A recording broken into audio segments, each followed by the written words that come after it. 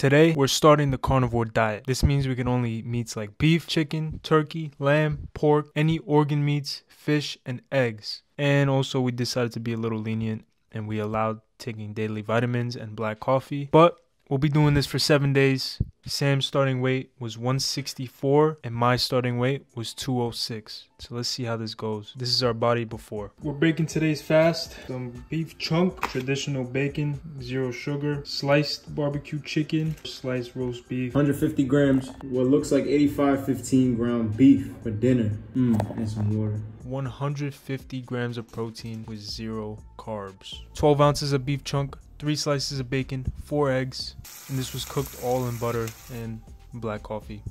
Steak cooked in butter, air fry going, same thing. This should be the next two to three days, along with ground beef in the fridge. 12 ounces beef chunk, three slices of bacon, four eggs.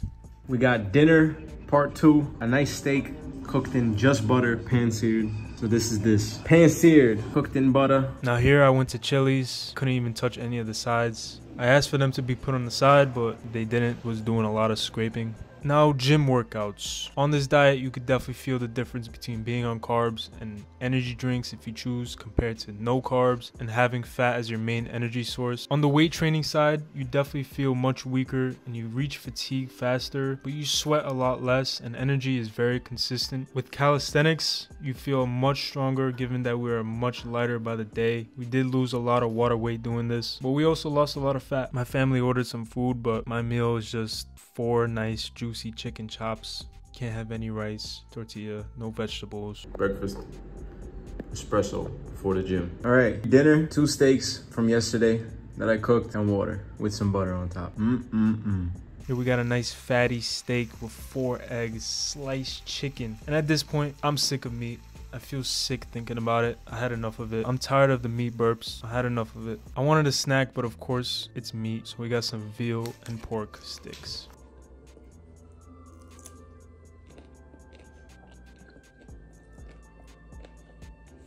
We got some salmon, we got some eggs, we got some sliced roast beef. I also had boiled eggs for breakfast and three slices of bacon. Yeah.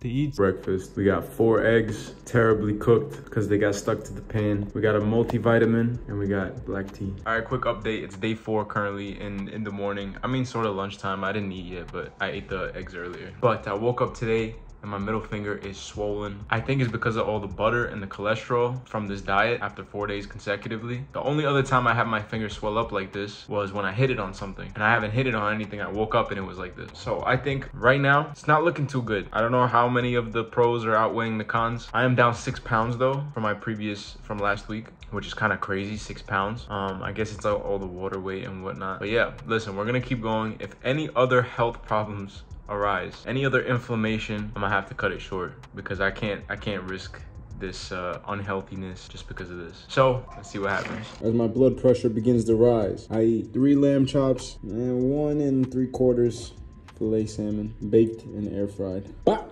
This smells insane. Tuna, two boiled eggs for lunch 12 o'clock on the site on the work site all right dinner two large salmon fillets and three lamb chops honestly there's nothing to get sick of this diet. You like these foods, you don't get sick of these foods.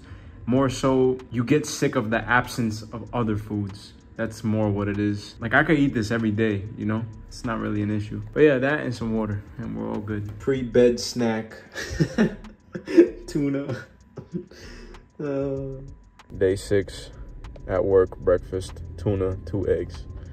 Uh, day six. Wow, wow, wow. Four large chicken thighs, seasoned extremely well. Mm-mm-mm. Wish you could smell what's going on here. But day six, final dinner. I gotta cut it short. There's a holiday tomorrow, and I'm having a family dinner. But we'll see what Adrian will be having tomorrow instead. On day six, this is this. All right, folks. The final weigh-in at the end of the diet this morning is 157 157.4 pounds. From 165 to 157.4.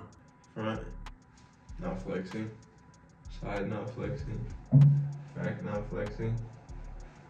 Not flexing. A little bit of that flex on I'm about to eat some nuts, bro.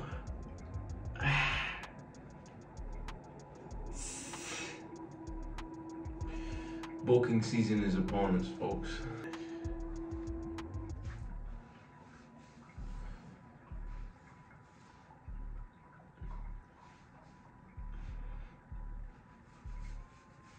Ah, never been this lean. 157. Crazy.